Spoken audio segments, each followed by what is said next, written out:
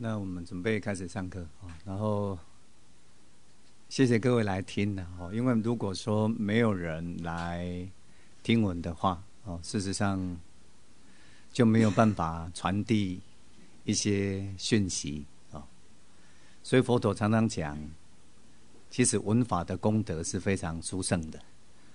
我是透过很久好几年的时间才慢慢领悟出来啊啊，所以。呃，很谢谢大家，然后来这个地方共同分享这样啊。那我们今天要跟大家分享的题目是转念、转业跟转命啊。那一般人啊，如果没有呃，我们说比较正确的对佛法的这种了解的时候啊，然后常常会说啊，好像我们的命运。哦，那那秒文刚才就有所谓的命运，好像是注定的啊。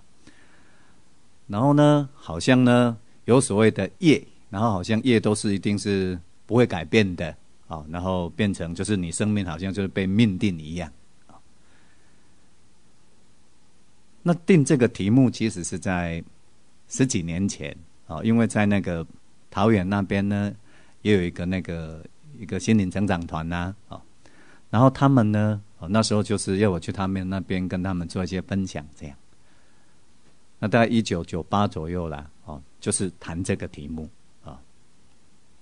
那他会一直有他的他的那个相应的那种意义在啦，啊。那时候就是针对说我们一般人对于所谓的命运啊的一种错误的看法啊。所谓的业障的一种错误的看法，所以呢，哦，才定了这样的一个题目哦。特别是在所谓的佛教界里头，哦，我们常常会听到一些宗教师哦，啊，你在业中当啦，有没有？然后就好像你就该怎么样怎么样啊，你也安诺安诺，有没有？那事实上呢，生命的实相并不是这样啊。哎，生命的实相不是这样。你看，像我们现在在这样的一个时候里头，对。吸气进来，整个全身的每个细胞的状态，跟吸气之前的每一个细胞的状态都已经不一样了。然后在吐气出去的时候，你看全全身的细胞的状态，跟在吐气之前的状态都不一样了。看到没有？好，那什么是命定呢？那什么是命定呢？啊，所以那只是一种观念上面的脑袋的一种投射，你如果真正张开眼睛看，你看它整个存在的实相有没有？你看太阳早上升起，黄昏落下去，然后月亮升起，白天它落下去，草木都在渐渐生长，一直都在变化当中，有没有？风在吹，哎，小鸟在叫，有没有？然后人在这边走动，很多的声音在升起，很多的声音在灭去，什么是命定呢？对吧？存在的实相与本心是怎么样？它是一种活生生的生命之流。我们说，或者说宇宙性的能量不断的在流动，啊，不断的在生生不息。那这股生生不息的能量，它无形无相，所以我们看不出来。哎，但是我们可以看到什么？我们可以看到小鸟啊，我们可以听到小鸟的叫声啊。我们好像感觉不到自己真的有一股生命能量，但是你看。这就是生命能量啊，手在动啊，头可以转啊，可以讲话啊。你看，如果没有这股能量，没有就没有这种生命的显象，对不对？花草树木，然后众生的这些生命形态，是不是像就是一个形象？说是一种生命的一种显象，哎，那你看，那这个显象背后是什么？你看，它是一种能量，有没有？它是一种能量啊。那这个能量它是死的吗？它不是啊！你如果你会发现一件事情呢，如果能量是死的，它就没有办法没有办法显象了，就是因为它是一股生生不息的这样的一种能量，有没有？所以你看万物它就随着这股能量的这种节奏，有没有？跟它的韵律配合众生的那种业力，有没有？然后它不断的在显象，这是生命呢。啊，所以呢？从这个本体的角度来看，你就发现说，所以生命它是没有办法被限定的，它是一种永恒的恒动。那如果说整个生命的实相本体是这个样子，那怎么会有所谓的人的命定的那样的一种所谓的命运上面去把它给定死呢？我的意思就是说，你看。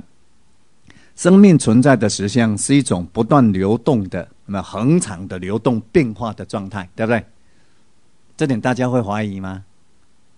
有没有把它想清楚？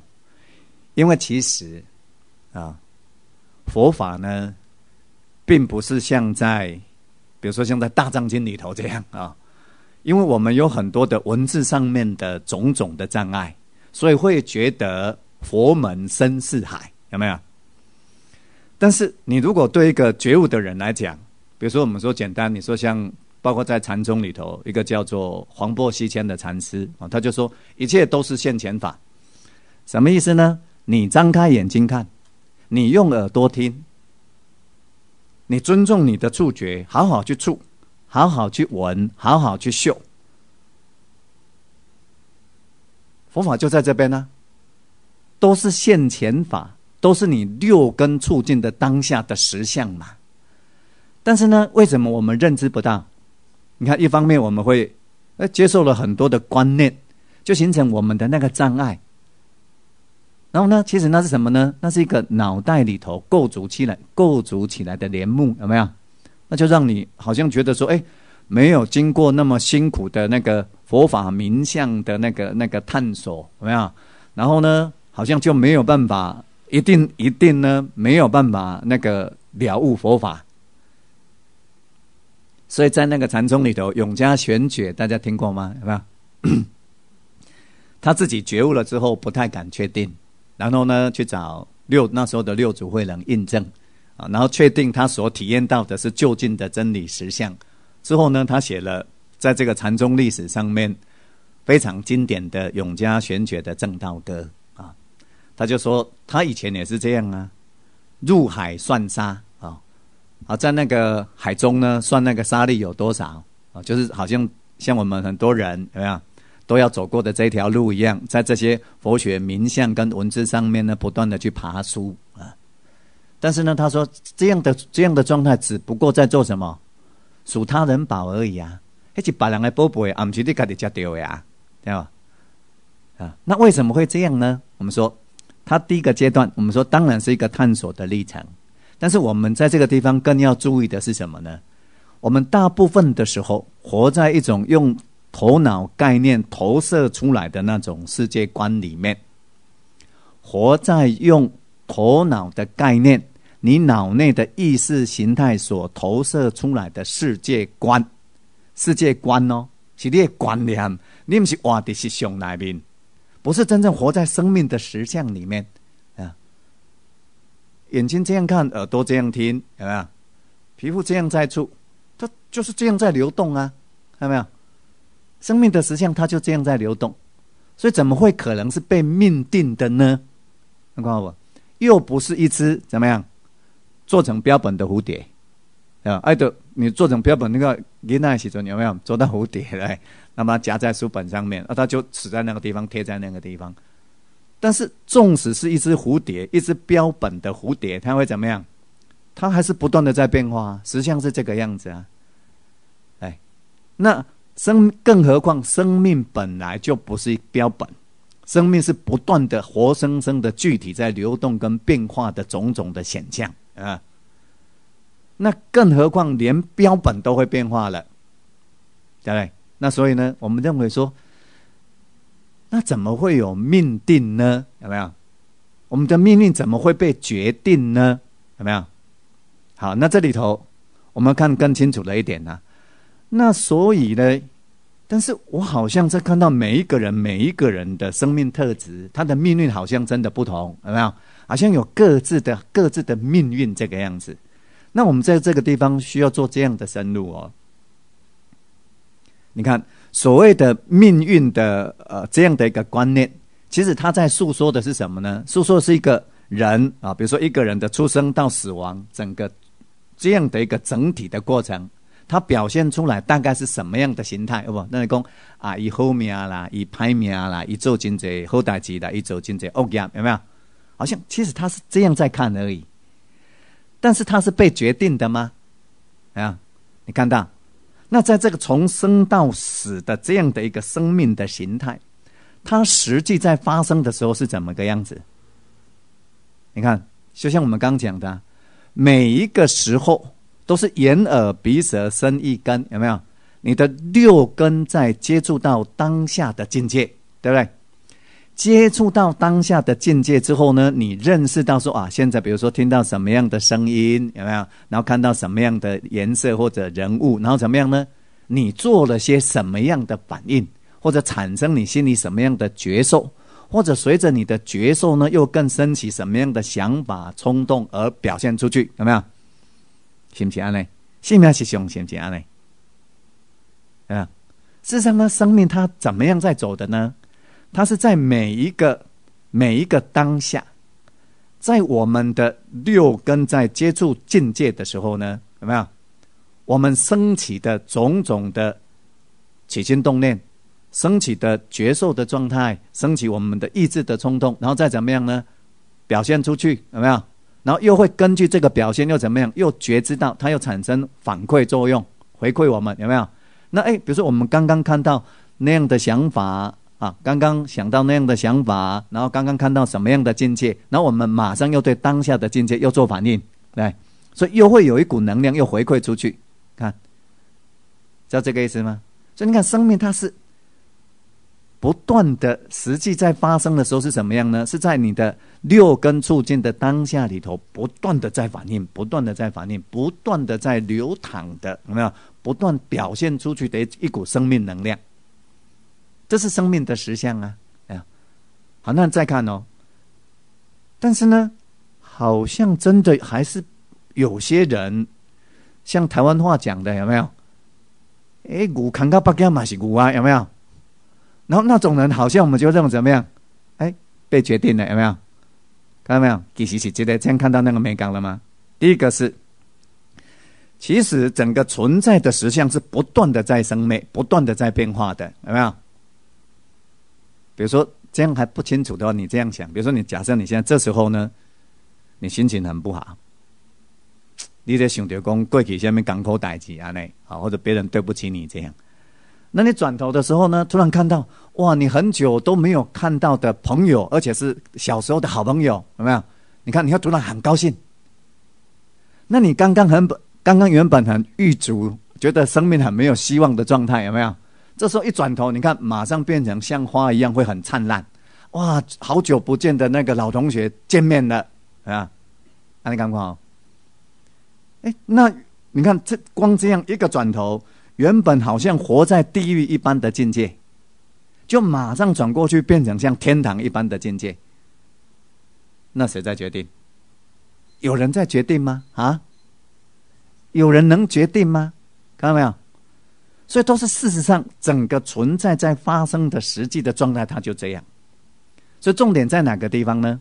诶，为什么说明明就是一个不断流动的、活生生的像活水一样的这样的一种生命的历程，能量流动不断在变化，这样生生不息啊？但是为什么我们会觉得刚才不没有那个生机啊？然后呢，好像生命都会变得无趣？好像我的我的命就好像会说，哎，我在拍命啊，有没有？这样看出问题出在哪里吗？在这边，啊，我们用我们的观念跟思想，有没有驾驭了、控制了自己的这种起心动念，让他没有办法很自在的释放出来，活在生命的实际存在的实实际存在的那种实相里面。是不是这个样子？比如说，再举举个简单的例子哈，这很典型。我常常到艺术大学去散步啊。那前一阵子呢，有一个先生呢，养一只柴犬，小柴犬，母柴犬。那那个先生呢，对那只母柴犬呢，那叫怎那叫做怎么样啊？那个三千宠爱集一身这样，你可以看得出来，他很爱他那只小柴犬。然后每天呢都跟他洗的干干净净的，然后他的链子啦各方面你会发现都是很干净，都是百般被照顾到的。那结果是怎么样呢？他带这这只小狗到艺术大学的时候呢，他会怎么样？小狗一定在上面打滚啊，他会很开心呐，哦，他在那边玩啊玩啊，很开心这样啊。然后甚至呢，他还松开他的那个他的那个链子，他就乱跑啊，这个样子。那结果呢？这只小狗到艺术大学的时候，他是玩的非常开心，像天堂一样。但是这个人呢，他会怎么样呢？一直很紧张，没有卖，就是不要让他在那边玩，好像他就会弄脏了，一直要去控制他，一直要去控制他。然后反而是怎么样呢？小狗越高兴，然后这个带狗的人呢，眉头皱得越深，以面如本如哦。然后到最后呢，会歇斯底里的大喊，叫那只狗回来，这样啊，那只小狗怎么可能？它会跑给他追。你有看这款电到不？一个人，一只狗啊，好不？走去艺术大学散步，那个狗啊，生嘎嘎那快乐的天人，有没有？那那个养小狗的这个主人呢？你看，像一个充满嗔恨心的痛苦的恶鬼，恶鬼。他我说那个状态呀。嗔心起嘛，那就像恶鬼、恶恶鬼、恶鬼的状态。你看，什什么在决定？看到没有？脑袋。他为什么？为什么没有办法随着那只小狗那种流动的生命，然后在那个大自然那个环境里头，你看那么洋溢的生机，有没有？那么灿烂，那么有活力的那种生命状态，然后他变成皱皱着眉头，有没有？一直要这只小狗怎么样？不要怎么样？不要那样？不要那样？看到没有？叫做牛，看看北京嘛是牛，有不？结果不是牛，是人，看到吗？是这个人。那你看他什么意思？你看，活在自己的观念的世界里面，有没有？活在自己的所谓的是非善恶、好坏美丑里面，他不愿意，不愿意把他这个帘幕拉下来，让阳光透进来，直接活在生命的实相里面。一不爱，你刚，你刚看得出来？他不愿意，他不愿意接受当下有没有那么灿烂的、自在的那个、那个、那个小狗的一生，小狗的当下，哎，他不愿意，他在抗拒，看到没有？啊，所以你看看，一个不断的活在自己的思考的惯性里面的人，他会就会怎么样？他就生命他就会僵化嘛？你看不？你生命僵化。是什么意思呢？就等你看哦，六根在住境界的时候，事实上是不断的在变化的。但是那个人会怎么样？活在那个脑袋，他的脑袋的世界里面。那活在那个脑袋的世界里面，其实是怎么样？就是活在过去里面，是不是？就是活在他过去所接受出、接受的经验，然后反刍出来的讯息，所以他形成他的价值观，然后种种的判断，有没有？那是过去的代志啊，啊，所以他活在他的过去的生命经验里面所抽象出来的那些概念有没有？所以概念思想就变成怎么样？控制了他的生命的流动，让生命没有办法流动，有没有？这样清楚吗？是不是这个样子？那你看呢？我们其实常常这样。我们不是活在直接的当下的这样的一个实相里面，我们是活在自己的脑袋里头，然后呢，要实相来配合我们的脑袋，有没有？啊，你刚毕业出来，小狗等它跳咖啡是呀，啊，你叫小狗卖啊呢？你凭什么？凭的就是你的脑袋而已啊！你看，小狗很高兴是实相，有没有？你叫小狗不这个样子是你的脑袋啊，看到没有？所以你活在什么什么境界？活在自己的脑袋的帘幕里面的那个黑暗的世界，啊，所以那就叫做什么？那个叫做做会变成你思想上面的特性，那个惯性有没有？其实那就什么呢？那就是真正的业障。我们一般人，比如说像有的人有没有？哎，他会去算命，好，然后。啊，有的真的会很准。啊，你们知道这个美感了吗？为什么命运是可以被算的？因为思想的那个惯性，你的特殊的行为的反应模式，在决定你的命运，有没有？所以不是谁在决定你的命运，是不自觉的特殊的心理思想的那个反应机制，那个反应模式在决定你的命运，是不是这样？那你不做到境界，你老是做那样的反应啊？做到境界，你老是做那样的反应，所以不是谁在决定，啊？你感觉哦？是第一个反应模式在决定，而且常常怎么样呢？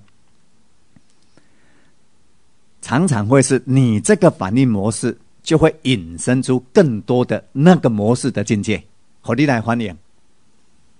啊，其实是安怎呢？不是的境界一成不变哦，是你那个模式一成不变。那所以呢，你会引申那样的一种境界来怎么样喂养你这个反应模式？那无安尼时阵的话，你也感觉你无存在感，你也感觉你无自我感，你也感觉你无尊严。比如说。看那个小狗的主人跟那个小狗就知道啦。那个小狗的主人可以不必这样反应啊，但是他如果不这样反应的时候，他会怎么样？会看起来不像狗的主人，有没有？他会看起来像狗奴才，不是吗？但是让他当狗奴才，他愿意吗？看到没有？所以事实上呢，是他的那个模式决定了他当下的那个境界。也就是他那个模式呢，不断的在决决定他当下对那个情境的那个反应，甚至呢是他那个模式制造出那个情境的，所以甚至是怎么样呢？那个模式制造出他的命运，听不听呢？我们上礼拜有特别提到，有没有？你看，像我们的，如果对于自己内在的这种反应模式不自觉的时候，就会怎么样？被这个内在的反应模式给控制住，其实就是我们讲的五音的这种魔身啊，五音魔、身心之魔，其实也是一个习惯性的反应。那么举最简单的例子，因为它非常典型，对不对？上次报纸有看出来啊，有没有一对同居人在吵架，对不对？然后那个女方就刺激那个男方说：“好，当你把黑的囡仔进来，爱的机密，好不？爱装把黑的囡仔进来。”啊，进来就马上学会啊！爱那个进来，看到吗？他完全没有自主性，有没有？完全是被他当下的那个过去所形成的那个习惯性的反应模式给制约，进入一种全然无意识的状态，完全无意识的，没有选择权的，然后就对不对？啊，那所以他的命运被谁决定？被他的无意识的反应模式在决定，有没有？看到没有？那你刚清楚？你像嗡嗡侠那样，但记得无意识的这种反应模式会自己找东西来给自己吃。所以，那我两对，你会发发现一件事情啊，他喜欢找痛苦来喂养自己的痛苦，在心理在心理学上有这种的哦。比如说，你看啊，有些例子啊，离婚的妇人。然后他，比如说他这个离婚的妇人呢，啊，他他这个这个第一个先生呢，喜欢打他，然后呢，离婚了。然后他再找第二任的丈夫呢，还是会这样，常常呢还是喜欢用这种暴力的方式来处理两性关系的。第三任呢，可能还是这种特性。那你会说啊，引引刚刚那个那个那个那个那个那叫就是讨打的有没有自愿讨打的找的？我告诉你，确实是这样。为什么？他的惯性，他内在的这种惯性，知道吗？就是变成讲为狼啊。比如说，他可能从小的时候。他就生活在那种，比如说，可能父亲比较有暴力倾向的这样的家庭。然后呢，他他他在他对于这样的一种形成了他的那种特殊的这种习惯性的反应没有知觉。然后在那种冲突当中呢，他反而能够感觉到自己的存在感。而啊，实际上他是不断的在受挫当中找寻自己的存在感啊，用受挫来感觉自己的这种存在。但是呢。他心里头又抗拒这个东西，但是又在找这个东西，所以一起在锤一个习惯性的食物，夜是反应习气的这个食物，他不是真正在找一个好的先生，但是这样代志隐在，所以他会不断的重蹈覆辙。你看，像我们在婚姻关系上面，在两性关系上面，很多都是这样啊。那比如说，那你看，如果说我们再举个例子，为什么说有的人的命运他是可以被计算的？因为他有那个特殊的反应形式。啊，你看，我们大家前阵子很流行《三国演义》，有没有？《三国演义》里头有很多的计谋，对不对？比如说，你看，像我们国小呃国中还国小读到司马懿跟那个诸葛亮空城计，有没有？你们有没有读过？根本他鬼啊！那时候那个诸葛亮其实没兵呐，很衰弱了，有没有？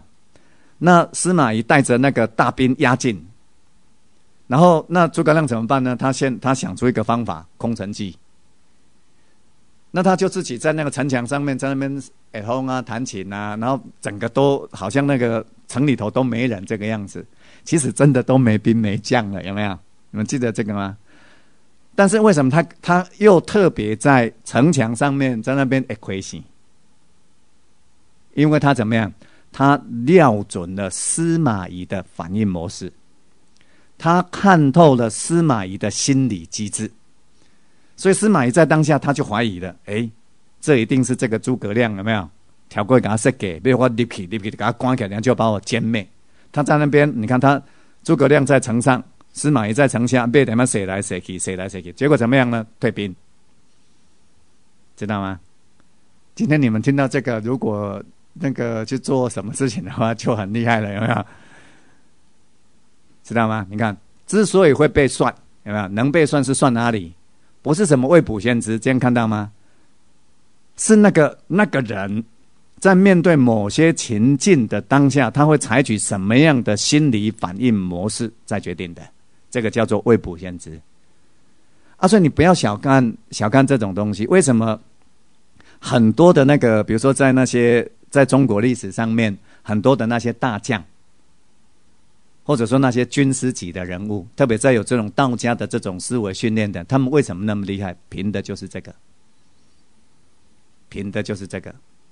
这就叫做计谋，因为呢，他看清楚，比如说，所以，哎，你他会去了解说，你这个对方呢，你这个将领有没有？你相关特色，你是不是好色？你是不是很粗心大意？你在什么情况大概会做什么样的反应？有没有？那你们彼此之间的关，比如说君臣之间的关系，是不是会很猜忌？那很猜忌的时候，你会大概会怎么样？怎么样？有没有？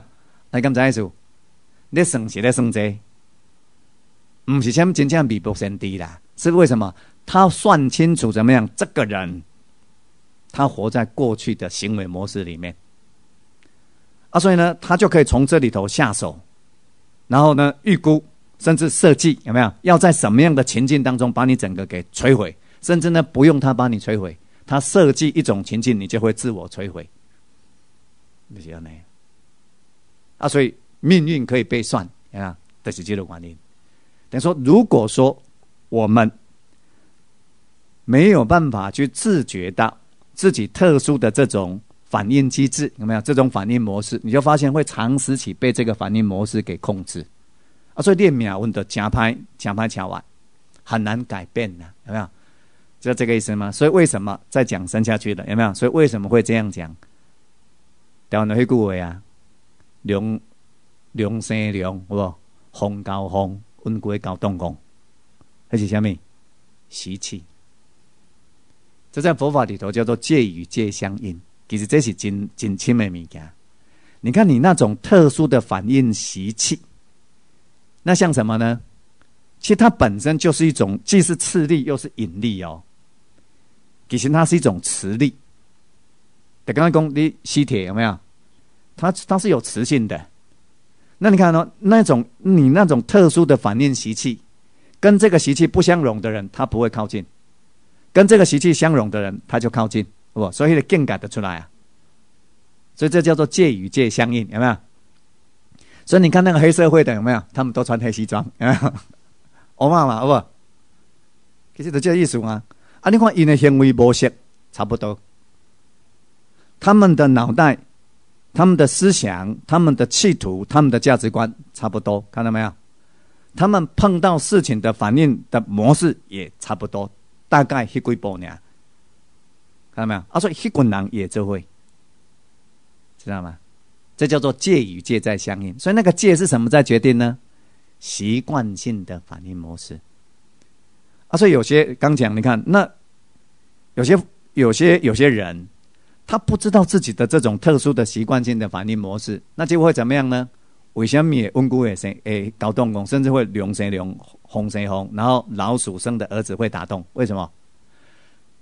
这样看出来吗？这个不自觉的反应模式会透过原生家庭的过程当中传承下去，这就是生命很可怕的悲剧。比如说，你看啊，一个有暴力倾向的父亲。一个对处理两性关系上面常常很没有耐心的父亲，啊，那他在跟他的、跟他的、跟他的太太在相处的过程当中，可能常常怎么样？常常很痛苦，很没有办法去处理彼此之间意见的不合，或者说小小的冲突，可能就带来那个那个不可开交的那种状况，不？咱传统真济查甫人跟查某人是安尼啊，啊，我较早囡仔的时阵吼，阮真卡人嘛。哎哟，一阵时啊，真侪富人人拢伫迄个溪仔边咧洗衫，有无？啊，我较早囡仔时阵，我就爱掠伊啊。啊，因阵因啊，点么时当时啊，拄啊伫遐的时阵，啊，我咧掠伊啊，安尼洗衫的时阵，哎呀，富人人做伙，比如讲，哎呀，阿婶啦，阿嗯啦，阿姨啦，阿哥啦，没有？隔壁那些都在一起的时候，你会发现一件事情呢，哎，拢在讲啥？拢在讲因安外歹咧，拢在讲因安因安安那想着虐待，拢在讲因安安那外粗鲁，有没有？都在抱怨的比较多，滴滴嘟嘟，滴滴嘟嘟，就是在就是在那个那个那个那个那个抱怨她的她的老公，我就在讲述诶，你老公的丑陋了，爱当中弄成怎样嘛，错位有无？都用三字经这样啊，然后你看那些富人，他讲起来就很气啊，然后很歇斯底里啊，甚至这个样子啊。但是呢，他们可以还是可以回去跟他们老公那个生活在一起养小孩，为什么？因为大家都差不多。因大家会讲，哎，恁安安呢？滚阿嘛呢？有没有？啊，所以大家一样都嫁到一个不好的老公，啊，让大家继续抱怨，然后继续再跟老公相处，然后继续维持生活的这种，大概就变，或者下面啊，啊，几人出几行，有没有？给他们并搞人这样，有没有？然后把那个家庭给他们来让起来，就这样。但都怎么样呢？带着没有办法消化的心灵上面的苦难跟那个抱怨，有没有？女。女人呢就会怎么样？一直唠叨，一直唠叨，然后充满怨尤。所以您看，能看这金金泽湖林郎，台北的我不知道了哈。我们那个彰化乡下，发现很很快乐的富人几乎不存在。呀，像你们这么快乐的是不存在的啦。啊，但是常常不要忘记哦，年轻的时候他们也是这样啊。少年嘛是刚才拢一堆灰啊。哦，啊，但是那结对了好不？那那种灿烂的那个笑容不见了，有没有？都变得沉重，变得沉郁。现在群众点不起那宽的节代志啊，拢嗡嗡啊，那个。怎么刚才你那时怎么讲讲我老母啊？很怕，因为他常常脸很那个，好像在生气那个样子啊。生命的苦难，知道吧？然后那个苦难造成没有办法消化的那种反应机制，哎呀。然后你看那那那那些痛痛苦，那男人会怎么样呢？女人用抱怨的，男人就。讲三字经，讲三字经，不然就打，有没有？就骂，有没有？然后就就这个样子啊。那你那那些痛苦的情绪，没有？那些痛苦的情绪，它不是没有能量的哦，对吧？那你看，所以你在边边，你看，你如果是他那种暴力家庭的小孩，你就会受到辐射，你就会受到感染，就是你会受到磁化一样，有没有？你一个铁放在磁铁边边，你会受到磁化，哎，干嘛慢慢会有点有点那个那个那个磁力。他就这样来啊，所以老鼠生的儿子会打洞啊，这什么意思？其实这很深，因为你原生家庭里头的那种特殊的反应模式跟那种习气呢，它会怎么样呢？它会不自觉的侵入这个幼小的心灵。那比如说，所以你会发现说，如果在那种暴力家庭长大的那种小孩，他大概在他的情绪管理上面其实都很危险的，他会有两个两个特性。哪两个特性呢？一个是住到那种不容易安忍的那种境界的时候，它是一种暴力式的反应、狂烈式的反应。反应的哦，刚才因老爸赶快，或者呢有一种怎么样？刚才因老母嘞，拎起来，拎起来不是消化器哦，他压抑住，一直压抑住，他这个样子，所以都都会怎么？你看到他都在受苦，老鼠生的儿子会打洞，有没有？那所以我们就可以看得出来了。如果是这样的一种一种家庭，然后已经辐射了这样的小孩，他们内在里头，我们说在情绪管理上面的这种特质的无能，那你说他结婚，他的婚姻会幸福到哪里去？可能性很低，这样知道吗？啊，所以如果说不是像以前传统社会有没有？大家认为讲啊，那个生前都是。床头吵，床尾和，好不好？啊，所以大家呢，乡人为小孩，有没有？你们有没有听过？所以我听过，大概很多的女人都说，我都个干安做伙嘞，拢绝对不是因为爱因安，对吧？拢是因为讲为着这个囝，你知道吗？大概都这个样子，要加惨嘞，你知道吗？这是很辛苦的一种生命状态，有没有？你不喜欢一个男人，你不喜欢跟他生活在一起，但是你为了已经。布出来的这些小萝卜头有没有？所以你要继续隐忍在他的这种那个特殊的夜视习气的暴力的阴影底下，隐忍的活下去。但是你的隐忍在这个层面上面看起来真的很伟大，对不对？哦，金甲扣嘛。但是你在隐忍的过程当中，你痛你是痛苦的还是快乐的？痛苦的啊。那你那些痛苦的情绪，其实也是怎么样？你看你会辐射到你的小孩，还是一样。所以那个苦并没有因为说光眼力，然后所以得到超越，有没有？所以我们会说，很多人的他的那个生命的那个那个特质，其实都不是他能够，就是说不是他能够负起责任的啦。我下面黑个也原生家庭的辐射有关系。那爸爸妈妈又有爸爸妈妈，有没有？那他又在那样的一个不自觉的。那种生存环境底下长大，那他也受到辐射啊。那所以你从这里头你就看到佛陀的智慧了。所以众生从无始劫以来不知道怎么一回事，有没有就被这种无名盖住了？所以他对于自己呢当下的那种反应模式啊，他根本没有办法自觉，无名盖住，所以他又会怎么样呢？只是想要在当下不断的去满足他的自我，满足他的欲望。那我们常常又看到了，有没有？那在境界当中，常常是怎么样？所求不得。一所求不得的时候，你就发现那就是那叫做怨憎会，好不？都度掉无介意的代志啊，无介意的代志，只个度掉时，他会怎么样呢？没有办法去自觉到自己特殊的这种心理机制跟这种形成的这种反应模式，突然他怎么样？他就把他内在的这种无名的痛苦有没有？他就把它标出来了。啊，所以自己在当下又变成怎么样呢？再一次碰到这个不可预见的时候呢，强化了自己这种无名的这种反应习气，有没有？能看到吗？然后又把这个无名的反应习气的这个痛苦的这种辐射能，有没有？又把它辐射出去，辐射给谁呀？辐射给他老婆，给他小孩。然后就不断的，你看，生命呢不断的在这里头重复，所以它会变成怎么样？这个事实上叫做，这就是所谓的业障。所以业障呢，不是什么神秘的事情。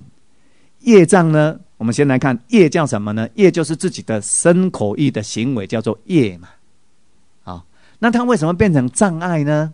就是你对于自己当下的身口意行为的这种表现，有没有？它的怎么样呢？他的因、他的缘，甚至他要所承受的这种结果，你都怎么样视而不见，或者你根本就不知道？为什么？因为你直接在对当下的情境里头怎么样，像动物一样，是怎么样反射性的？就说你对于当下的状态呢，是陷入一种无意识的状态，所以直接就由你原本的常识起来形成的这种特殊的。业力习气所磨塑出来的那个反应方式呢，在做反应，好不好？是不是这样？就刚讲了没有？那个女人跟那个男人讲讲，无你好大，你把那个囡仔捡来，讲一直给捡来，有没有？凭什么？就进入无意识状态啦。红激掉你好不？得跟他你看像狗一样有没有？马上咬了，就这个意思吗？所以那是完全进入一种畜生道的方式，完全本能式的在反应，而这个本能不是生命的本能，这个本能是习性反应的本能。这样够清楚吗？所以你看这样是不是像附魔？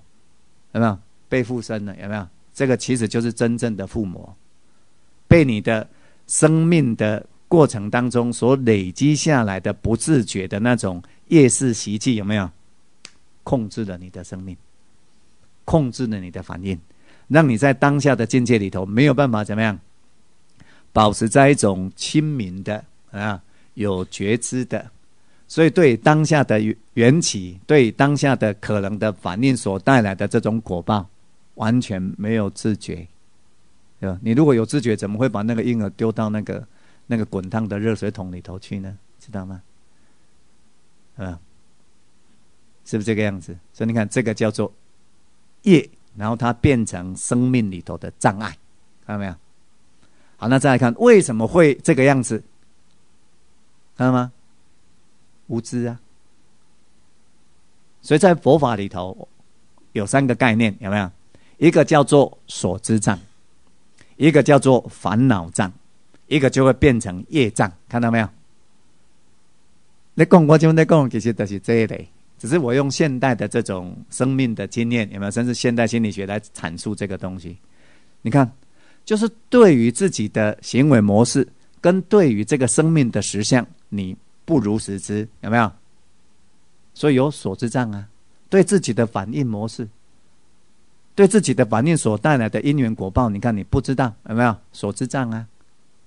啊，所以呢，你在当下出道境界，你完全变成一种被动的状态。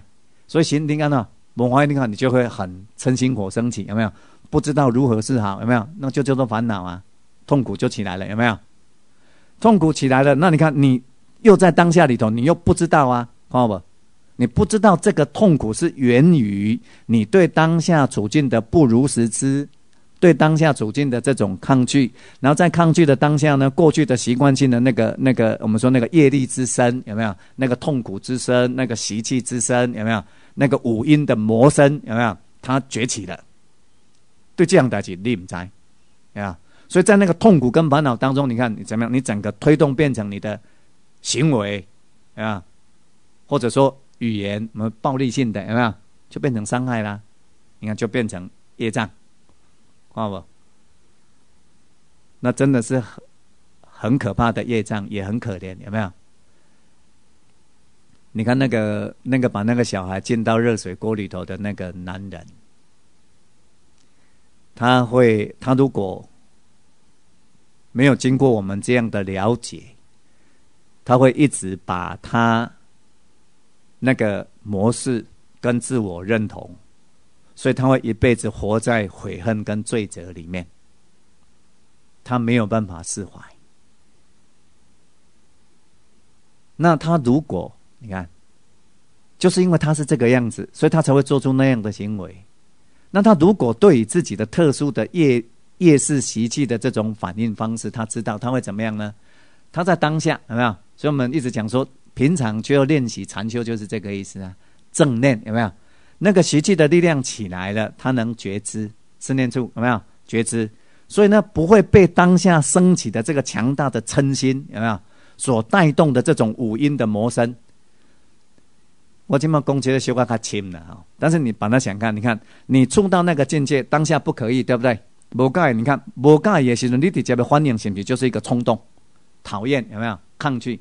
那看你那个心升起的时候。它会变成怎么样呢？你对于心是行，行因；你对于你的行为，你看你就会有一个想，想要怎么样，不想要怎么样，有没有？那个叫做想。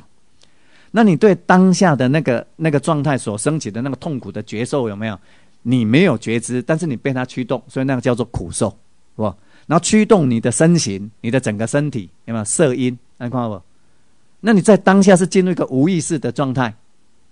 你看色受想行识五音完全具足，但是这个这样的一股具足色受想行识五音的这一股身心能量的这种展现，对于当下的这个心理来讲，却是完全是没有办法自觉的，啊，这样看出来吗？所以那个叫做附魔，其实是被自己的习气的魔身给掌握住嘛，啊，好，那你看，那如果说对于这样的一种自自身的这种习惯性的这种反应模式，你没有办法自觉，看到没有？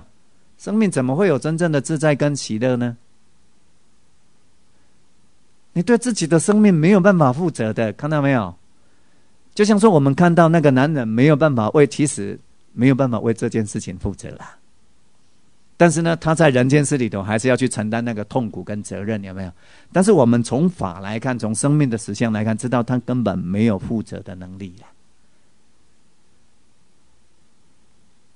其实讲到底的时候，我们会发现一点呢。真正能对自己生命负责的人是什么呢？觉悟者。只有一个真正觉悟的人，他能够去穿透这个习气的这个魔障啊，所以他会在他自己当下的情境里头，保持一种强烈的这种正知正念，所以对自己的起心动念，对自己的觉受，有没有？对自己的心灵的取角，随时都在他的关照底下。所以呢，他能够完全对自己的起心动念，到身口意的行为，到自己的行为本身所带来的结果，有没有？他能够完全负起责任，好不？那你不能不懂？那就是因为他能够对自己的身口意的行为，他的起心动念跟可能产生的结果，都能够负起全然的责任，好不？所以他怎么样？他是完全自由的人，能看到吗？你看，那那个把小孩子紧了，他就是不自由嘛？他就是对自己的生命是完全当下的状态是完全无知的，有没有？叫这个意思吗？所以，我们如果越了解，你就看到，我不是在不是在批评那个男人哦，我的用意不是这个样子，我的用意是，那真的是一个很悲、一个很深的那个悲剧，很深的一种苦难。但是，让这个苦难让他有意义，就要这样。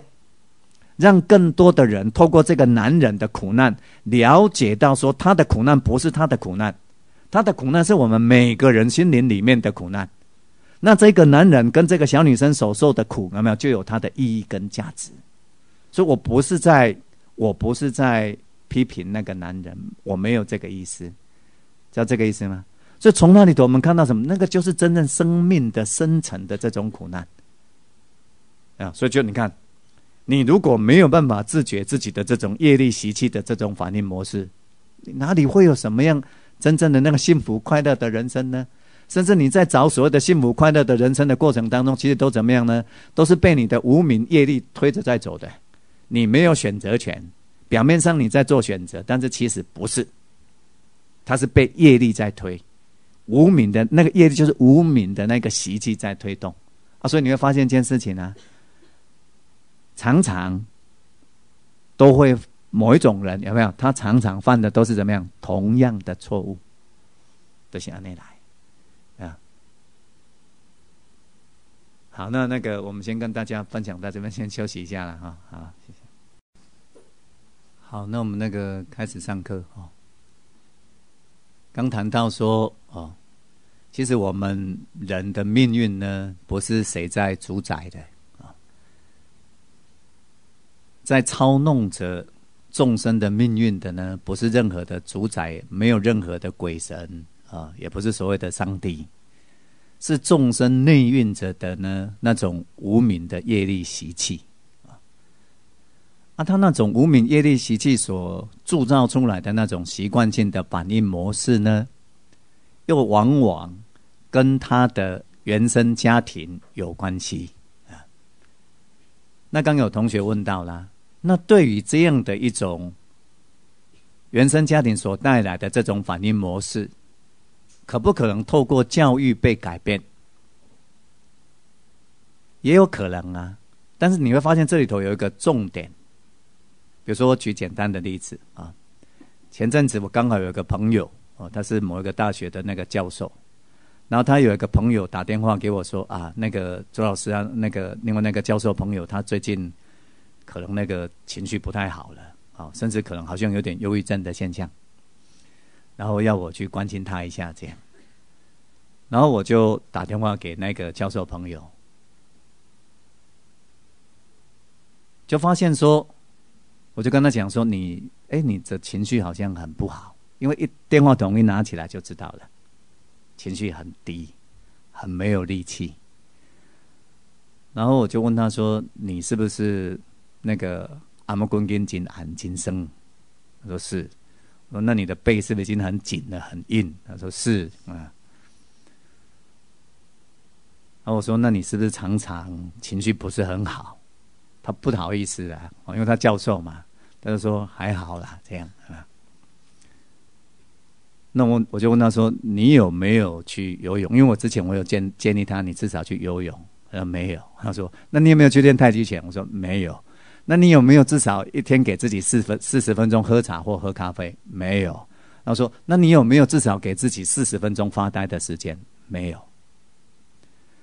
然后呢，他一讲就变成全部都是他现在在生活上面那些我们说一般讲叫做杂七杂八的那些让他很烦心的琐琐碎碎的事情。那在那样的状态里头，你看哦，他的身心的能量已经事实上不够支付他平常的讲课所需了，有没有？那这时候他会怎么样？一点常常就陷入情绪这么低，有没有？然后很不舒服啊。那很不舒服的情况底下，他原本的那种，比如说那个脾气不好啊，然后甚至以前受伤的那种所形成的那个痛苦的情绪呀，都会不自觉的夹带的就会跑出来了。啊，就说他原生家庭里头所铸造的那个伤痕，也会这样跑出来啊。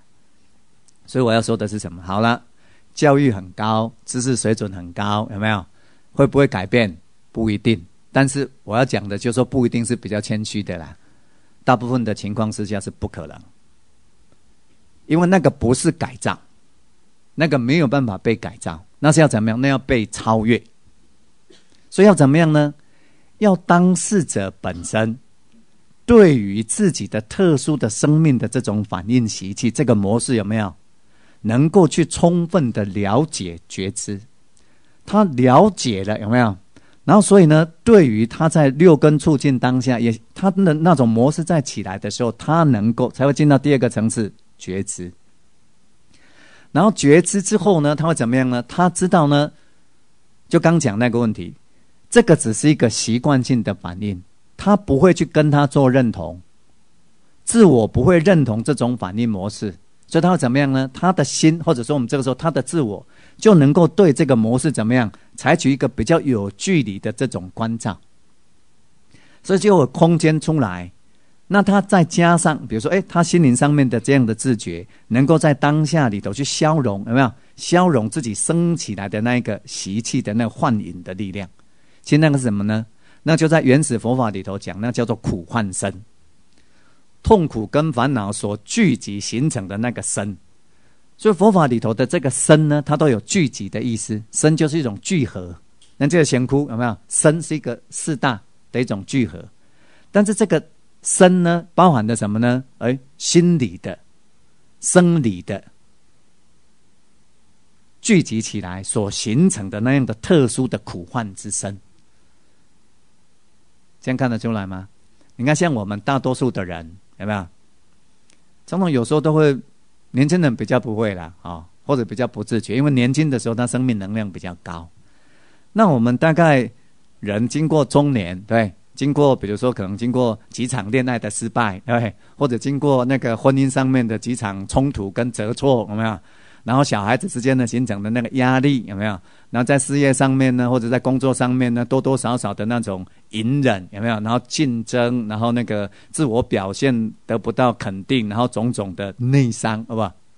来看看，这些整个的生命经验，它就会跟你原本的原生家庭里头所带来的那个痛苦之身呢，一得一直连在一起。跟那两体感官，它就会连在一起，贴合起来，贴合起来。然后呢，所以形成呢，你会发现说，常常我们看到到了一定年纪的人，你会发现，那讲人呆跨面的灾，是不？两块的他通过嘛，跨面的灾啊。因为我在一个那个一个地方吃饭，然后那个视角很特别，刚我在吃饭，然后看过去呢，刚好这边是一对那个那个情侣在谈恋爱，然后这边坐的这个这个女生呢，因为她在谈恋爱，看出来就知道她在谈恋爱，哇，真的像花一样，然后那个很开心，然后很开心，然后背后坐着一个呢。像我妈妈一样的女人，皱着眉头，痛苦的。虽然她擦了粉，但是你还是看看得出他的那个容颜是比较暗淡、比较黑的，很不高兴。然后他，因为他很不高兴，所以他眼睛射出来的时候，你会看到他对于这个世界呢，他形成一种敌对、敌意，因为他不开心。那这个在谈恋爱的小女生，你会发现世界这个时候的世界对她来讲是天堂，因为她像花一样在开。然后后面那个太太呢，她是她在抗拒的她整个的生命境界。那我们会看到说，他很痛苦，但是他可能他不知道说他的痛苦怎么样造成的。他可能会抱怨说，可能是他先生或他的小孩，或者他的可能，比如说呃，或者说亲人亡故了，有没有？但你发现他就是痛苦的投射。充满敌意的那样的一种眼神，在对待这个世界，看到吗？苦患之身，啊！我说那个妇人表现出来的那个当下，就是佛法里头的苦患身。这个苦患身说它包含什么呢？你看，像身体里头的生理上面的这种痛苦，比如说，你看，像你看到女人很明显经期。它就会让你情绪不好，有没有？然后再来怎么样？更年期，然后再怎么样？空巢期，哇！那你看，你到经过跟你看，比如说，你看原本其实男人也这样哦，只是这点男人不太自觉。男人也有男人的经期，它是有周期性的，跟女人其实是完全一样。但是因为没有没有那个没有经血，所以男人对这件事情不清楚。但是你如果追去观察的时候，也差不多是四个星期，你的情绪也就是那样的韵律。然后他要来之前呢，你一样情绪非常不好，你也感觉古月世界东西东西唔对诶，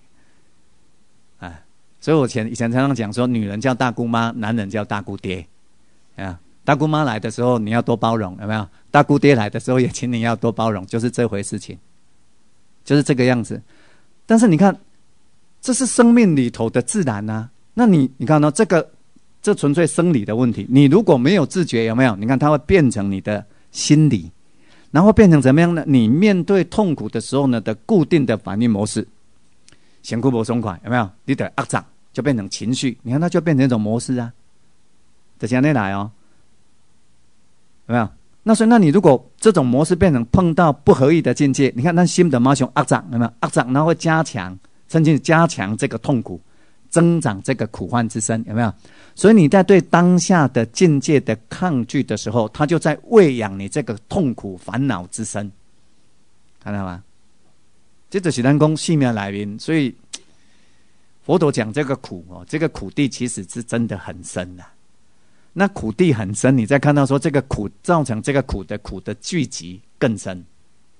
你看你不自觉的。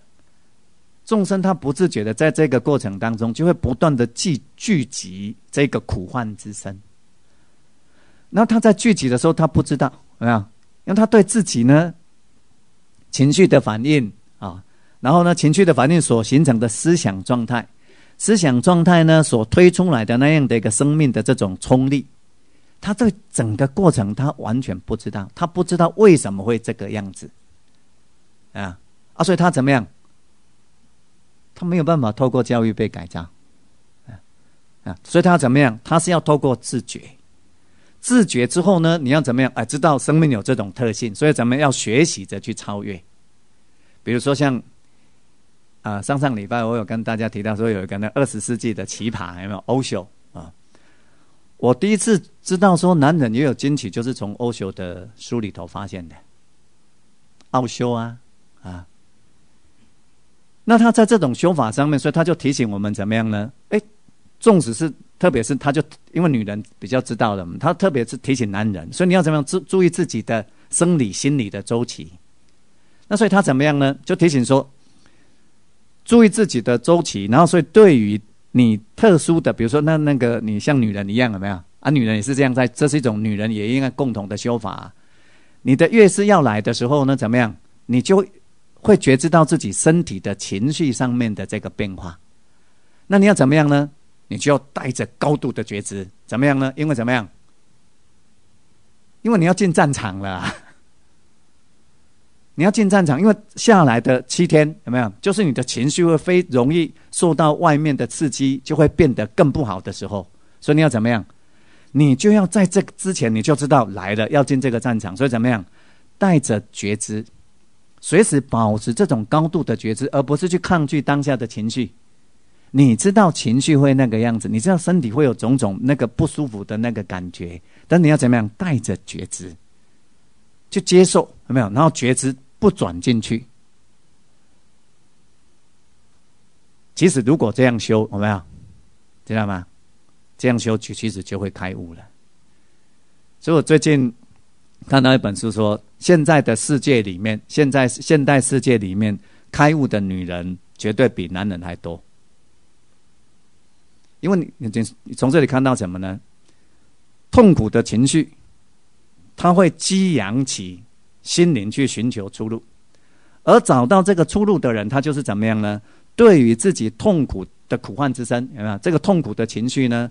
知道它的升起，知道它的因缘，而保持在这种如此的觉知上面不随转。那你看哦，那女人她常常她每个月都要这个样子，二十七天、二十八天，有没有？那她如果懂得这样的方法，懂得这样的方法，她会怎么样？你会发现一件事情哦。他会超越这个生命本体性的那个苦难。我说这是本然呢，生理上面这属于本体性的的这种苦难。那他对于当下的身体的，比如说荷尔蒙的问题所带来的这种情绪的反应，有没有？然后他能够怎么样呢？觉察、消、觉察不随转，觉察不随转。所以他就对于他的身心的身心的这种觉受。就会产生高度的这种觉知力，而且他能够怎么样呢？不随转。那你看哦，他如果能够在经期期间不随着他的生理、心理，这身体跟心理连在一起了，这个时候的生理时间有没有？生理、心理时间呢？他不随转的时候，你看，其他的二十二十一天，是不是一定会比这七天更快乐？看到没有？所以，如果有这样的这种自觉，那你看，他就能够第一个层次有没有？你看他对生理所造成的我们那种习惯性的痛苦情绪的反应，他就超越了。那问题就在这个地方哦，其实这是最根本的。所以，你如果能够超越生理的这种机制所带来的情绪反应，其实他就像一个解脱者，你会搞吗？他就脱离了他的这个层次很根本性的苦患生的掌握啦。看到没有？所以他的心灵，他的心的那个自由度，是不是就已经很高了？那你干嘛都退回？那所以他等于说，他随时在，比如说，那其他的就很容易处理的。他碰到哎外面的境界有没有产生不舒服的那种心理觉受？对他来讲，因为那个没有根，不是像生理，它是有根的，它没有根，所以那个苦受对他来讲是比较浅的。他连这种夹带着根源性的这种生命的苦难都能够觉知而超越了，这种没有根的这种痛苦，对他来讲是什么？帮他电骨钢条啊，有没有？就刺一下而已，他能觉知就能舍断。所以在这面，在这样的一个层面上面，有没有？我相信，我相信什么呢？这个世界，女性的觉悟者应该是比男人多。为什么？因为。女人的那个那个经期痛苦，而且明显。那在这个过程当中找出路的女性，自觉性会比较多、比较高。那男人呢？所以男人那伊那里的啥呢呀？啊，一对痛苦，他不太能够去消化，因为他没有自觉，不是他愿意的哦。啊，所以他怎么样隐灾嘛？哦不，啊，所以一直当中你都得更改，这大姑爹来了一样嘛，一直冰冰冰冰啊，有没有？就像这样啊。啊啊，对。因为对于这个身体的这个机制啊，这个痛苦机制，他不自觉。那再加上这个对痛苦的机制的不自觉所形成的反应模式，有没有？又不自觉，所以他触到境界所形成的那个苦感，会跟他原本的整个就会贴合在一起，跳不出来，就得连起来。本来是小代志呢，现在变大代志，都是安尼来啊。他跟他的痛苦之身、苦患之身连在一起的，啊，所以他就怎么样呢？他就要找出路。那找出路的方式是什么呢？怕啦、吓啦。讲脏话有没有？哎，喝酒啦，就是逃避啦，有没有？但就是他对他的生命、对他的情绪，他没有办法驾驭。你看，他完全不如实知，有没有？不了解，所以也没有办法在当下升起的时候正念觉察，所以完全没有办法超越。那他寻求的方式就像这样了，有没有？就是麻痹啦，有没有？再去吃鸡啦，或者就是到最后，或者说那种暴力的方式去。平衡他的那个内在的那个痛苦的那个能量啊，但是其实那不是在平衡，那是在干什么呢？喂养，你起迄个苦患身，在养那个痛苦的五阴魔，是咧可以讲物件。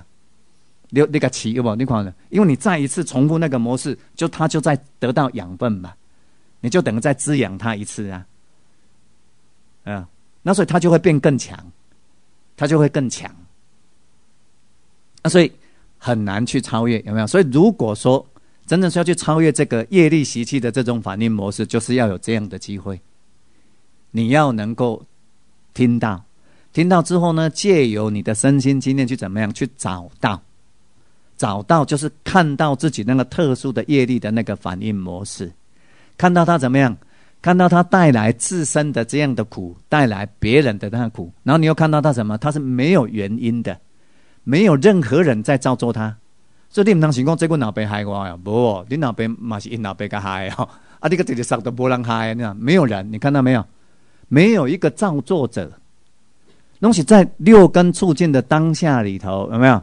随着那样的因缘条件，不自觉的，就像佛陀讲的，在无名的覆盖底下，跟欲贪不得不到满足的这样的一个交缠的冲动当中，不断磨塑出来的。所以没有人是，没有人是那个那个罪魁祸首，你找不到那个人，这样知道这个意思吗？你敢听这对吧？还是一个无名的传承，对不对？是不是这个样子？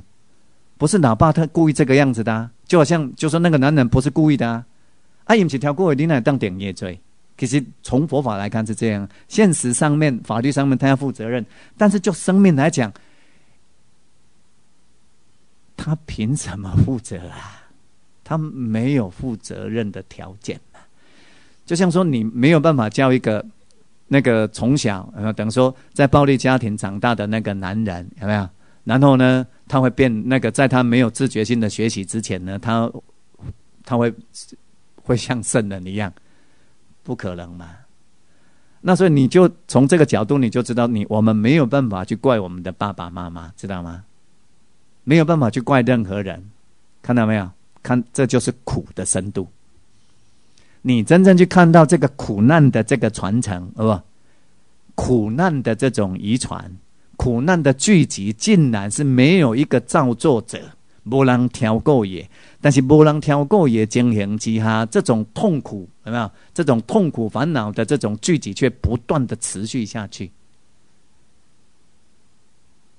嗯这就是生命的苦啊，啊，它就是这样啊啊！所以呢，你有了这样的了解，我们就怎么样？就看到一件事情了。你真正了解到，所以怎么样？你不会去怨恨你边边的男人啊！如果因为男人而受伤的，你今天听完之后呢，也许你经过自己更清楚的那个反省反刍，你会对那一个看起来好像在伤害你的那个男人呢，很同情。因为事实上呢，他就是不断的在伤害自己，他没有办法停止对自己的伤害，他就是那个样子，所以他不断的在用用那种暴力的方式，用伤害别人的方式，他停不下来，啊，那如果你是受到一个男人男人的伤害，你就会去研了解的那个男人不是挑过耶。你如果是受到一个女人的伤害，你就知道说那个女人嘛不是挑过耶，伊嘛不法多。一毛不法多，因为那是一个苦患生的不自觉的有没有的那种聚集升起？就像我们上礼拜讲的，像那个从海平面底下的海怪，它突然升起来的，你不叫假胡讲，有没有？这样清楚这个意思吗？那你看心里头的那个就会去释放，有没有？了解吗？我们现在讲那个业力习气的超越哦，所以刚讲说你不知道，就叫就叫做所知障。那你看你现在知道了，而且知道之后你自己去体验，体验到一定的那个深度了，有没有？你会对这个苦，自己跟别人的这个业力的推动底下所制铸造出来的铸造。刚才的领那些铸有没有一个金字旁在一个所铸造出来的这种苦难呢？你会有很深的慈悲心。嗯，龙伯话里没有人有办法。如果他不知道的时候，有没有？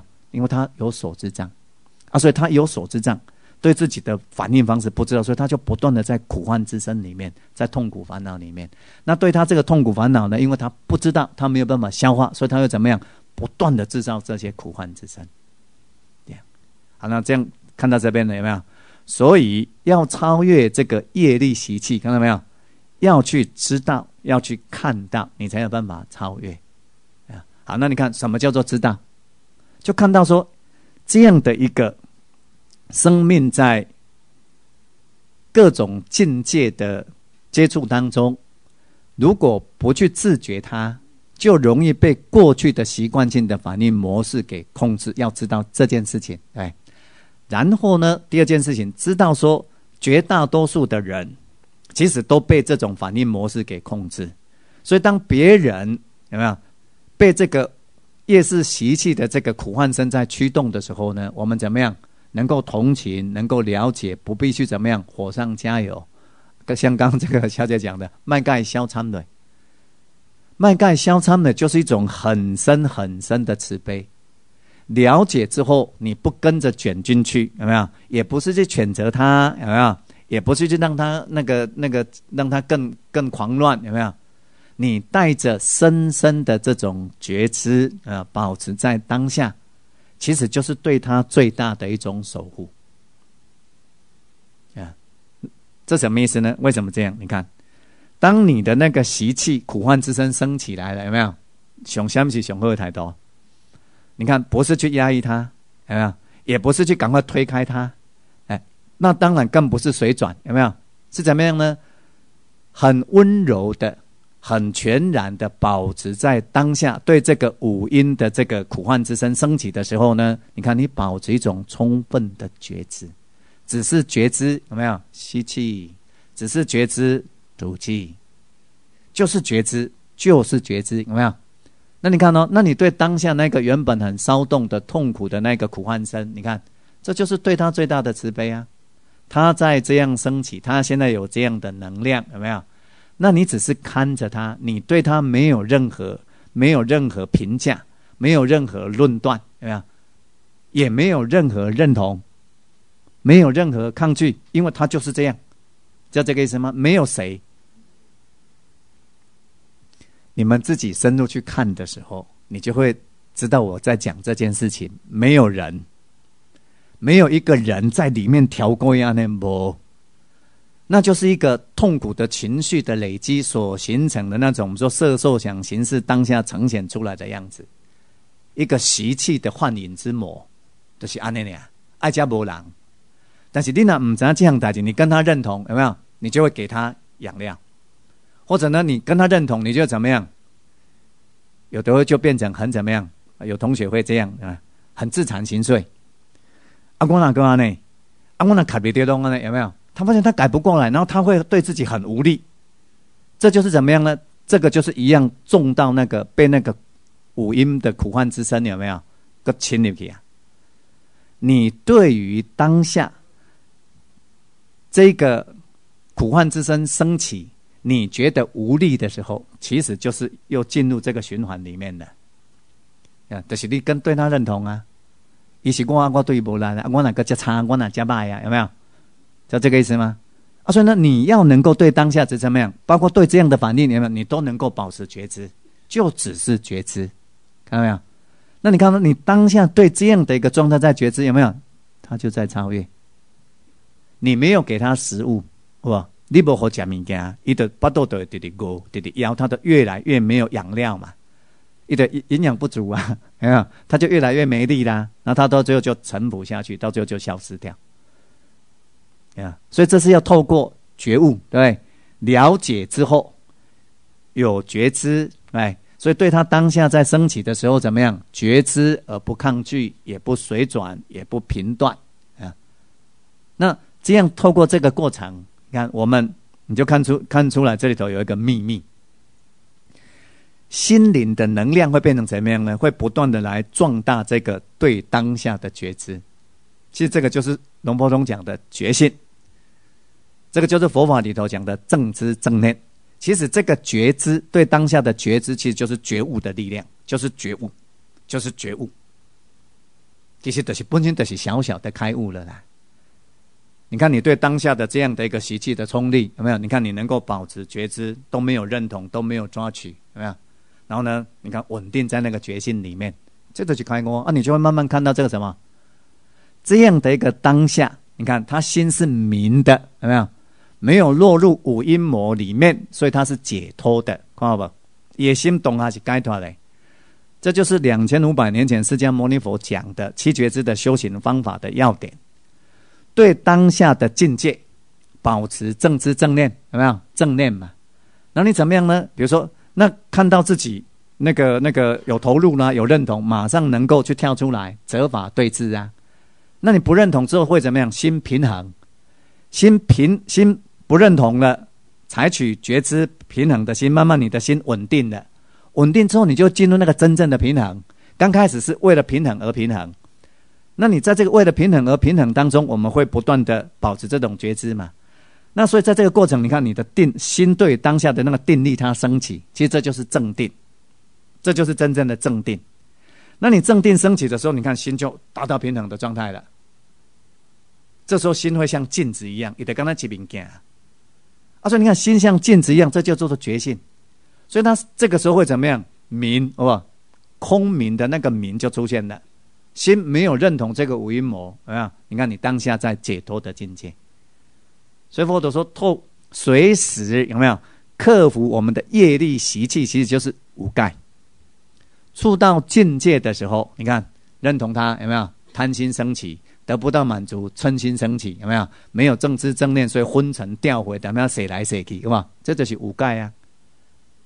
所以随时在当下保持正念，克服五盖，有没有？然后以这样的正知正念的力量，对于当下的身受心法，就是我们一直提醒的，就是四念处嘛。当下的身心状态保持觉知，有没有？住四念处，修七觉知。你看正念平衡，定平衡，你看你会通达明解脱，就体验到这个觉醒，体验到这个解脱的境界，其实都是安内修为啊。那你看，那只要哦。只要你有一次这样的经验，就盖得好啊，盖得一次就好了。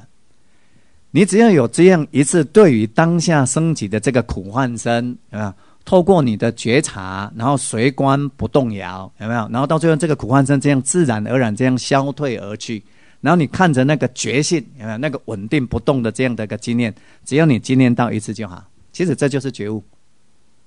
那你有一次这种觉悟的经验。会变成怎么样？你看，你生命的自信出来了，你就不怕了哦。你别惊讲啊，一个哎，那个起来变呢？个起来嘛是安尼呀，啊，等于说你对你过去的这种生命经验所带来的那种夜视习气的那个引力跟拉力，有没有？你已经无所畏惧了，因为你知道它就只是这样而已。你如果不水转，你不给它吃东西，它就没有力，有没有？是不是这个样子？所以你你看你那个对于生命的那个自信，对那个觉悟的自信，这什么呢？对于离断痛苦烦恼，佛法佛陀讲的苦昧之道啊，你看你就充满自信。所以他不是说啊，我要到山上去禅修，我要让我脑袋里头都没有念头，有没有？然后我要入四禅八定，我要怎么样？不是那个样子。是我们在生命的活生生的那个当下里头，去觉知到这股生命能的运作，有没有？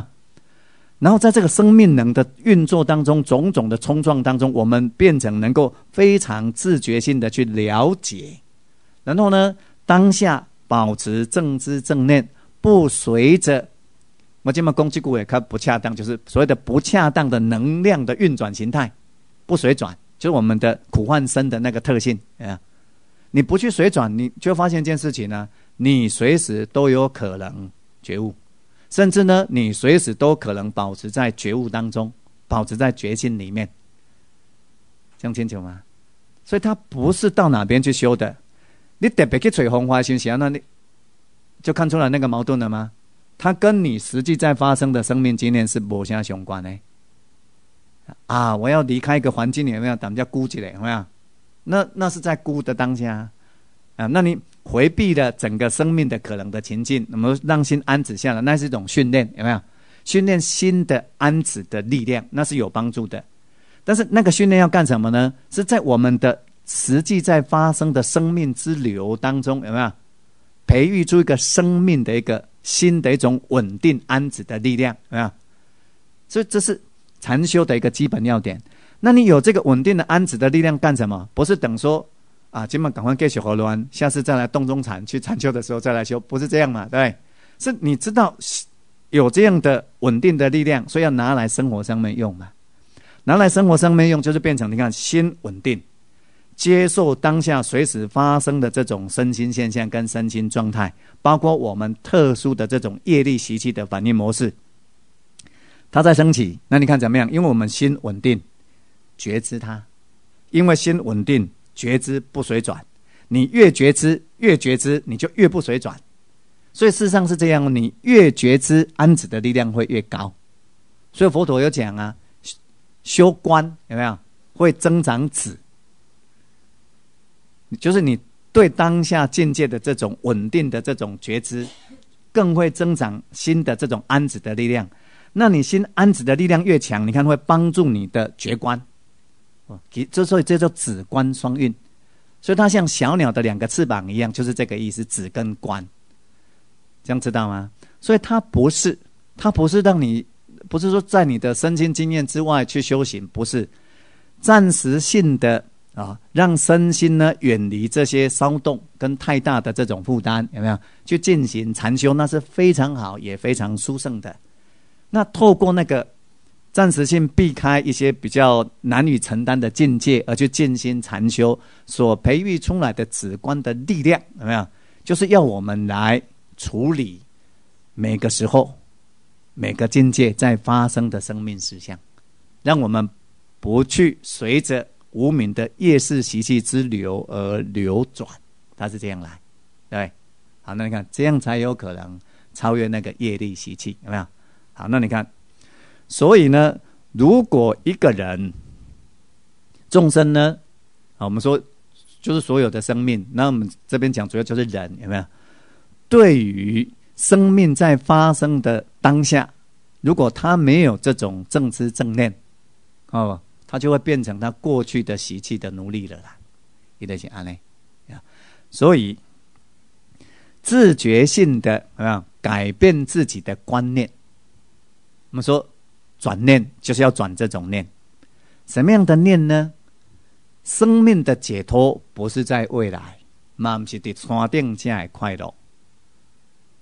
生命的解脱就像佛陀讲的，极深观察，源自觉知，宪法通达，不待时节，都是在你当下的身心现象去观察它，极深观察，不一定是虾米时阵，你呢，就是你随时能够。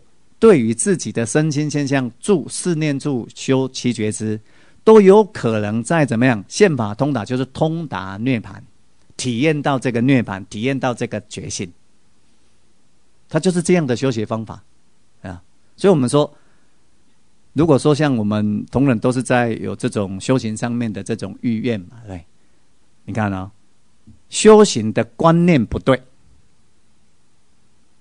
你会变成修行，又会变成生命的压力。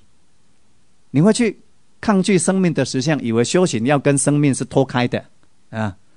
那所以呢，你没有办法真正融入你的生命之流里面，甚至你会抗拒生命之流啊。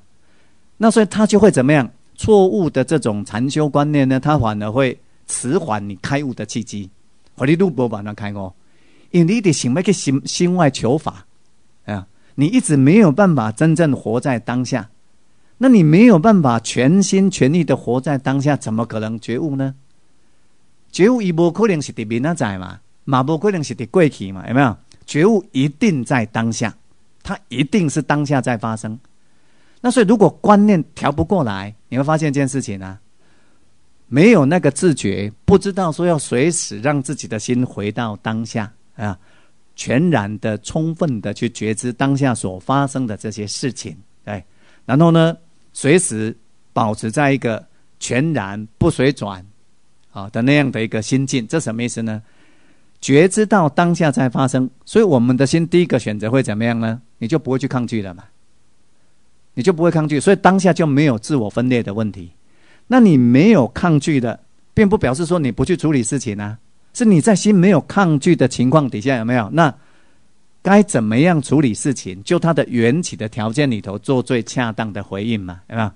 所以你会变得是怎么样？是非常省力的，而且随时在这个过程当中，你会看到这样的事情啊。如果对境界，你看你对境界有抗拒。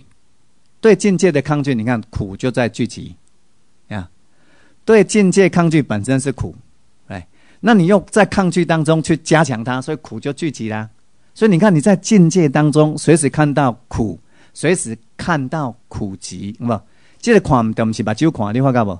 它是你心灵里头很深层的如实的觉知，痛苦这样在聚集，看到那个苦欢生这样在被喂养在壮大，有没有？那我们会怎么样呢？你看，你完全如实知这个苦跟苦集的过程跟因缘，所以你看，你这个时候，你如果正念强，你正念强的时候，心不太可能各个出来了，是正念的力道不够，所以心才会出进去，就是认同了、摄入了、水转了。那你如果当下正念具足，你会怎么样呢？因为你看到造成这个苦幻身继续强大的这个因缘，所以你会怎么样？你就会去舍断那个因缘啊，所以你就能够怎么样体会到当下的这种苦昧，其实都是安内。那你看你体会到当下的这种苦昧，所以心才会怎么样平衡？心平衡的当下，黑头是什么呢？心都没有任何覆盖。这样能体会吗？你看，他没有被投入过去里面，好吧？他也没有在抗拒当下，所以他没有在投射到未来。野心无活的过去，嘛无在咧想未来。你看，他的心会全然在当下。那全然在当下的那个心所产生出来的那个状态，那个就叫做明解脱。他没有任何覆盖，明很亲民。明觉，没有任何痛苦烦恼，所以他解脱。所以如果说你看没有建立啊正确的这种生命的知见、那种观念，有没有？就说思想观念错了，那我们在人生里头，就说想要去找幸福跟快乐。那把自己的幸福快乐呢，都设想在说啊，嫁一个好老公，啊，老公不太好，就希望说以后那个养个好儿子，啊，那养个儿子如果不是很好，那想说那至少阿拜娶一个好媳妇，好吧？啊，新妇哪个无啥好无？阿拜希望说无看孙仔好无？有没有？是不是这样？你看你弟弟拢嫁伫未来，一直投射出去，看到没有？都没有没有自觉性的活在你的当下，活在你真正真实的人生里头，有没有？你个真实的人生，真实的人生不是在未来嘛？真实的人生嘛不是在过去嘛？真实的人生是在当下，好不？总是讲过去的代志，一起代志。如果过去的事情要产生效用，你看你是拉在当下了，你在想过去的代志，好不？那过去的事情，你在这边想它。他如果带来痛苦烦恼，你继续沉醉下去，那你就去沉醉在过去里面嘛。那过去的事情，你现在在满足他，看到那个特殊的那些缘起所以充分的了解了，而心平静不随转，有没有？你看你在当下超越了过去的束缚，有没有？你敢听？纵使讲过去，其实嘛是拢是伫当下，好不？啊，不，你在想未来代志，啊，你本来在想想未来边那边，啊，你发觉到讲，啊，你个个想嘛不好啊，有没有？那只是一个对于未来的一种梦幻泡影式的那种投射，哎，那你在当下本来在投射未来，那看到当下的这样的一个状态，你看未来不是又拉到你的当下吗？有没有？那你看到对于未来的那种投射跟设想的空幻性，有没有？所以呢，不再去投入能量了，有没有？所以你看，你就能够超越对未来的那种投射啊。那你慢慢就习惯说，所以不用去常常有没有拿过去的事情来让自己心周有没有？也不用常常呢投射未来，制造梦想来让自己呢不断的抗拒现在，知道吗？你看那些痛苦烦恼就减少很多啦。那那些痛苦烦恼的能量不在了，你就变成把那个能量就回归聚集到当下来啦。那有这种正确的对待生命的观念跟思想，有没有？认真的、真实的、平时的活在当下，哎，不再被过去的阴影给牵扯，也不再去投射对未来做那些没有必要的那种投射。生命呢？生命能随时回到当下的这样的一个境界，随时都能够怎么样？苦灭啊，随时都可能在一个幸福快乐当中啊。所以，我们那个以前去年呢，我说我们明和讲堂哦，要弄一个标语，叫做“当下最圆满”，就是这个意思了。东阿雄完满呢？你看搞不？真正在当下是当下是最圆满的。你看。你没有因缘你过去而来的撕裂，有没有？你也没有在投射对未来，所以也没有因缘你未来而撕裂。心呢，全然在当下。所以，一个你，你如果能够随时自觉性的活在当下，你看痛苦烦恼它就熄灭了，心就随时可以保持在一个最轻松愉悦的状态。而且这里头又有一个要点，不知道同学有没有发现，一个。自觉性的活在当下的人，他会怎么样？他的梦会越来越少，因为他不会投射，他就越来越不需要活在颠倒梦想里面，有没有？他越来越不需要计划，他也越来越，他些悔恨会越来越少，梦越来越少，投射越来越少，所以他的心呢会怎么样？会越来越轻松。然后他只要常常活在当下，会怎么样呢？因为你的心没有被过去拉扯。也没有被未来拉扯，所以心是完整的。你会很容易体会到那个心的完整。那你常常体会到这个心的完整，会带来一个什么样的事情呢？就会心会越来越无所求，因为你会发现什么？当下最圆满，一切就在当下，而且它会升起一种很特别的东西，就是真正生命的喜悦。那一般是讲啊，就爱各种管，好不好？这样快乐，还是讲啊，看到那个喜欢的人，有没有碰到合意境，你才会那所谓人间世里头的 pleasure 快乐。你如果一个常常活在当下的人，他那种生命的喜悦是没有原因的，他不需要条件的，他不需要条件哦，他本身就是喜乐，他本身就是喜悦哦。在佛法里头，其实这里头佛陀也有讲。你看，当我们的心如果克服了那种五盖的时候，就是贪心、嗔心、昏沉、掉毁、怀疑，你的心喜乐就会升起。秘密就在这个地方。你看，你贪心，心就破裂，就是没有在当下，有没有？嗔心，心也破裂，没有在当下。昏沉就是心无然，所以唔在咧想象，也没有在当下。掉毁就是咧想过去咧学会，也没有在当下。怀疑当怀疑塞，所以心嘛不得动哈。你看，这就是五盖，所以心会怎么样？不快乐，没有那个真正的生命的喜乐，看到不？因为没有真正生命的喜乐，所以要怎么样呢？喝酒啦，打牌啦，看电影啦，啊不，吹人玩给修吧，有没有？他要获得生命的快感，但是呢，很可怜的是，他的心在整个五盖的笼罩底下。在寻求生命的快感，有没有？所以他怎么样？他就在迷失当中啊！啊，说他以为说生命的满足、生命的快乐要在外面，有没有？啊，说爱安卡扎等来，有没有？爱见卡听话的，有没有？要公司的老板呢，有没有？他们那个对我们好一点，要同事情绪好一点，你看你都会在外面，都会在，一般讲就是心外求法嘛，有没有？都会把心思呢寄托在外面的因缘条件，认为说这样我们才会快乐，那不然会常常怎么样？哇，糟糕，又是三缺一，有没有？那今天晚上就睡不着了，那不知道怎么办？因为三缺一，你看，因为三缺一，你就没有快感，你没有摸牌打牌的那个快感，知道这个意思吗？啊，你刚看我这意思啊？所以，当我们的心一直被五盖给覆盖的时候，其实那都是生命进入一种奴隶的状态，被五盖给奴隶的状态。你看我，在被奴隶的状态里头，想要寻求快感，对吧？所以才会有这么多的所谓的娱乐性的产业呀，吃鸡啊，吃鸡，它就这样来的啊。啊这也是目前的人类文明发展到这样的阶段，无可奈何当中的无可奈何，对，就只能这样了。那我们刚讲的是这个秘密。当你的心，你看你克服了五盖的时候是怎么样？就是你就活在当下啦。听他，你的心他就全然在当下啦。无过去，无未来，那你会发现一件事情呢？这个叫做生命的完整性，这个就是你真正的心灵的力量。你就完全在实相里面，有没有？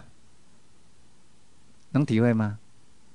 所以，他当然是喜悦的！他就很自然而然有一种因缘与那那永安的供了哈。用圣经来讲，叫做浪子回家的感觉。不用再流浪了，因为你发现这就是你的家了，所以你有回家的感觉。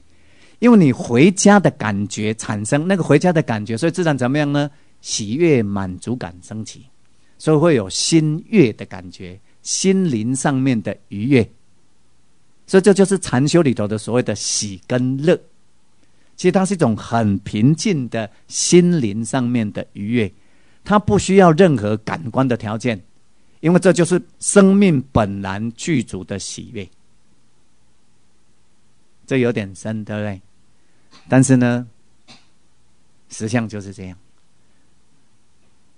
因为我们一般人不知道这个生命本然的这种喜悦啊，所以一要去吹啊啊，我吹起来对得上眼的谈谈恋爱才会喜悦啊，哎 呀，啊，吹起来什么吹起什么代志来做才会喜悦呀？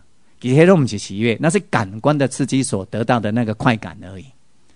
真正的喜悦是心的本然，心本来的快乐诶，心本来的希望嘞。所以你发现一件事情呢？哎，我们从历史上面看的话，你看那些觉悟者，奇怪嘞，有没有？他们都是在苦灭的状态，苦灭就是喜悦呀。啊，你看佛陀喜悦呀，阿难是喜悦的啊。舍利佛是喜悦，你看那些，特别是那些大禅师，他们特别会表现出这个特性，有没有？哎，那种愉悦，那种生命的愉悦，全然无所求而来的那种生命的愉悦，就是这样来的。因为他在当下，那你在当下，你就看到这个生命宇宙的这个本体，这个实相，所以你心就自然就高兴嘛，因为就回家嘛，就在家里面。你就自然知道，你本来就在家里面，所以怎么样呢？不用去找老公，有没有？他要三点回来，那就他三点回来，甚至晚一点回来也没关系，因为我的床会比较大，有没有？我会睡得比较开心，你就没有依赖了。你的心会随时知道说，哎，只要回到这个当下，正知正念，生命的那个完整性，它就出现了，那个觉性的喜悦，它就来临了，啊，这就是佛法里头讲的什么呢？四个字：纯一满尽。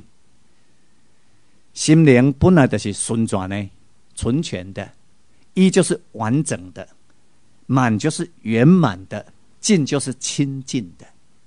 你就体会到说，这个心灵本身的纯一满尽、纯全、完整、圆满而清净，这就是当下。啊，那所以我刚讲，你只要有一次就够了。你只要有一次这样的体验，就不会再迷惑了。虽然呢，会有在那些习气的冲力在升起，是吧？好，比如说你那个思念的时候啦，啊，那或者说突然在一个比较心灵力比较弱的状态嘛，它在升起。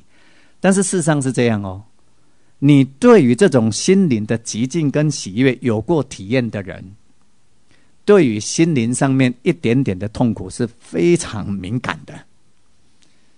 所以当你失念起的时阵，那个苦感它会升起，苦感一升起，你如果你如果觉知到了，你会怎么样？你马上正念会提起来。